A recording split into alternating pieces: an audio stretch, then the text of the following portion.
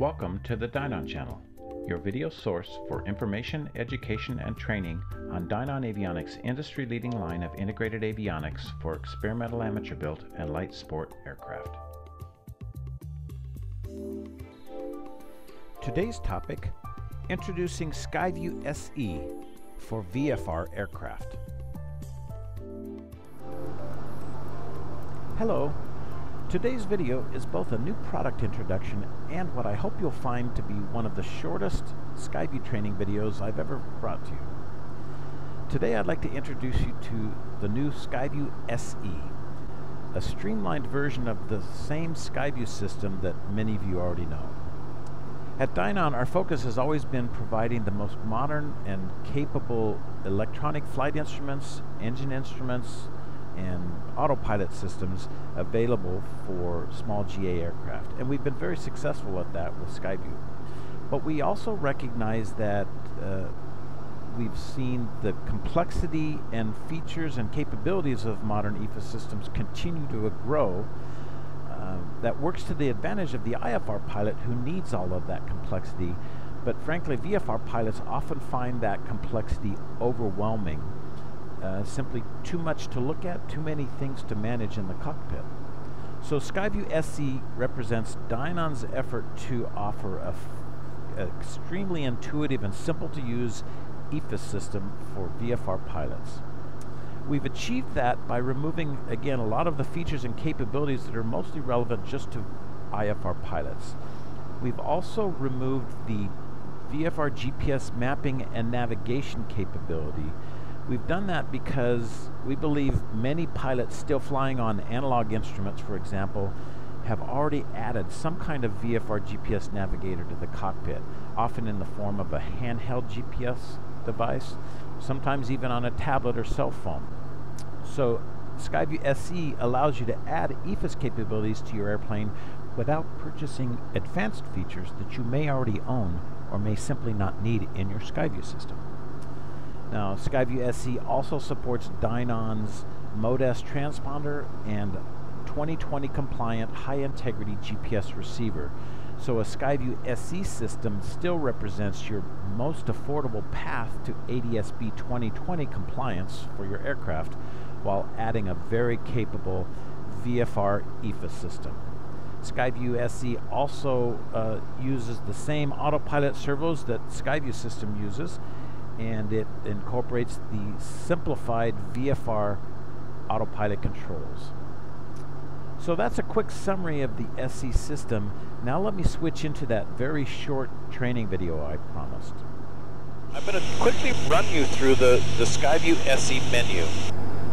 Some of these buttons might look a little familiar to you if you've seen a full Skyview system, but trust me, it's a very simple menu, I want to point out that all of these buttons, except for the transponder button, are direct functions, turning primarily turning features on and off.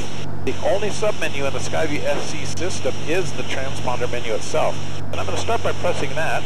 Button 5 labeled XPNDR takes me to the control menu for this transponder. Here's where I had set the transmit mode for the transponder. And the second submenu allows me to enter a discrete transponder code back takes me to the main menu. So here we are again at the main menu for Skyview SE. The rest of these buttons are just one press to do whatever you see there on the label. And quickly running left to right, button 1 labeled 6-pack allows me to switch from the EFIS tape style flight instruments to your uh, venerable analog or steam gauge flight instruments. Uh, some of you transitioning to EFIS systems may find it uh, easier to make the transition when you fly for a time with the analog flight instruments. One button turns, turns us back to the EFIS tape instruments. Button 2 is the single uh, engine-related function, and that is the fuel computer. When we press button 2, it gives us a dialog for telling the fuel computer how many gallons we have on board. We're back to the main menu here. Now buttons 3 and 4 are the autopilot controls in Skyview SE.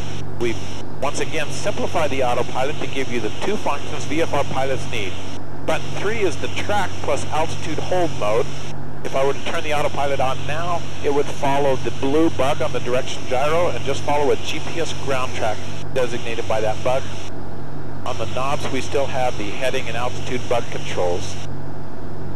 Button 4 allows the autopilot to follow a course needle. On my HSI here in Skyview SE, you see I do have a magenta needle.